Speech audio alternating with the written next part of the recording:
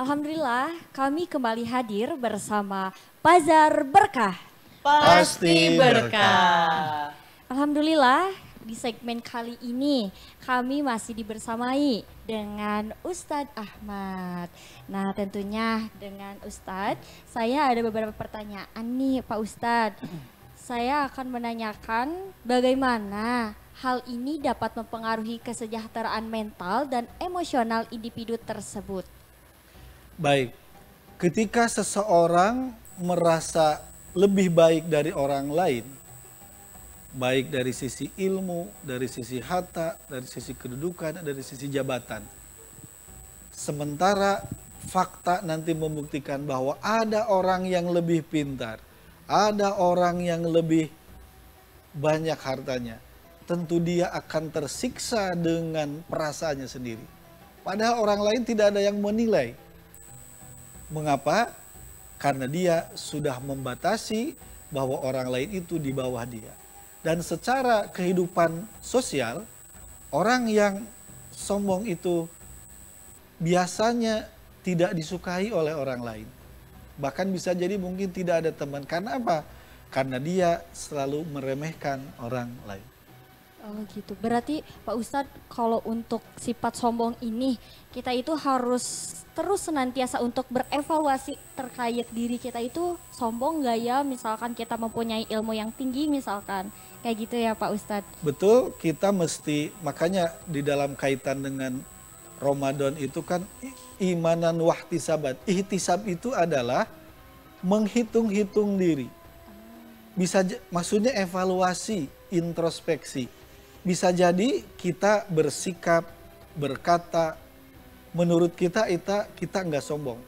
Makanya kita harus cross check kepada teman dekat kita, apakah ada ucapan, perbuatan yang dianggap sombong yang bisa jadi itu menyebabkan orang lain itu tersinggung. Di situlah kita perlu komunikasi agar apa yang tidak kita sadari, yang itu di mata orang lain ternyata dianggap sombong, bisa kita eliminir sehingga komunikasi dapat berjalan dengan lancar. Bagaimana? Adakah tidak menurut kalian saya sombong hari Ada ini? Ada ya? Hari ini Ada ya? tadi bibirnya terlalu Oh, cetar. iya. Bibirnya terlalu cetar, Bibirnya terlalu ya. merah, Mbak. Itu sombong loh. Iya.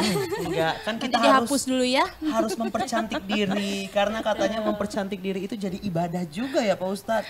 Ibadah Ya. itu buat suami. Ibadah untuk suami. tapi saya Dan untuk buat di kalian. rumah. jadi serem ya. Namun kadang Pak Ustadz kita tuh udah bilang nih ke teman kita, ya kan.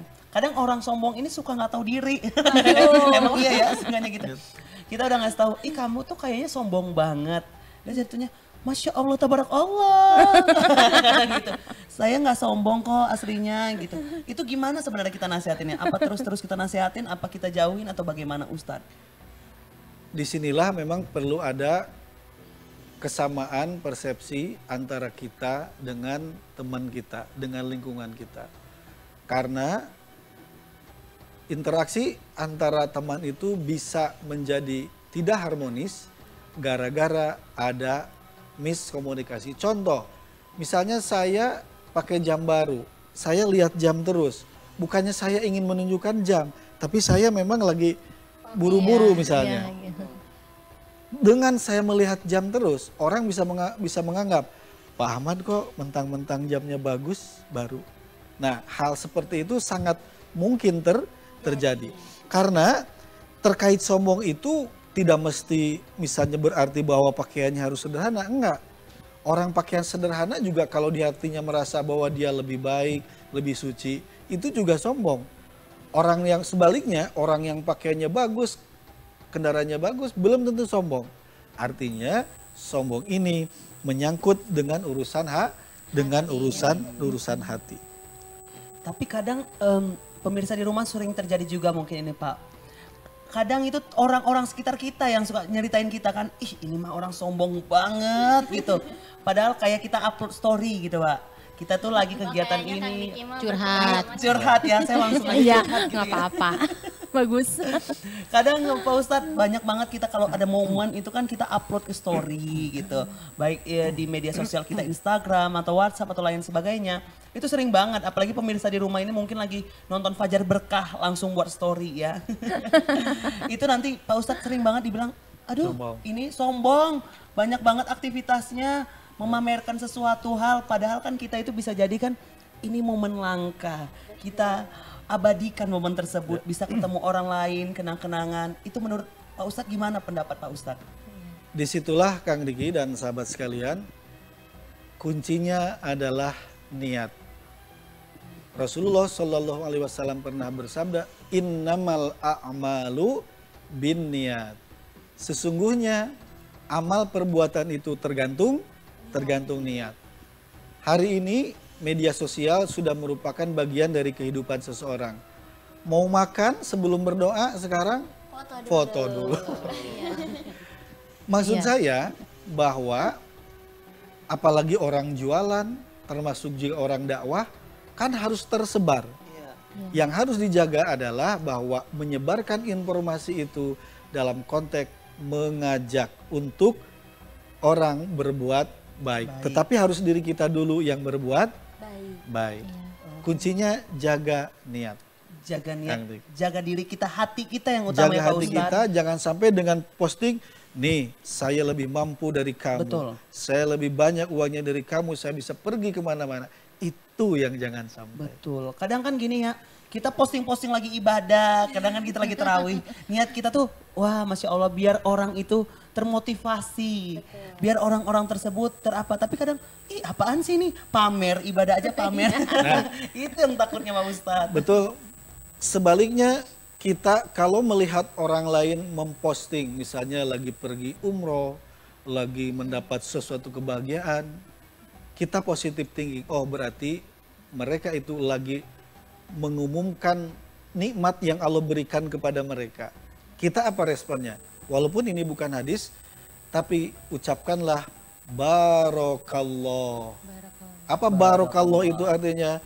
Semoga Allah memberikan berkah kepada engkau atas apa pun yang telah anu, engkau eh, Allah anugerahkan kepadamu.